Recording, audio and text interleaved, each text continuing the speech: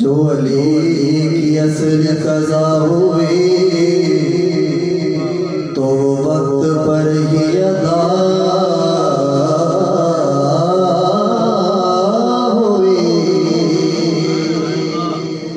جو علی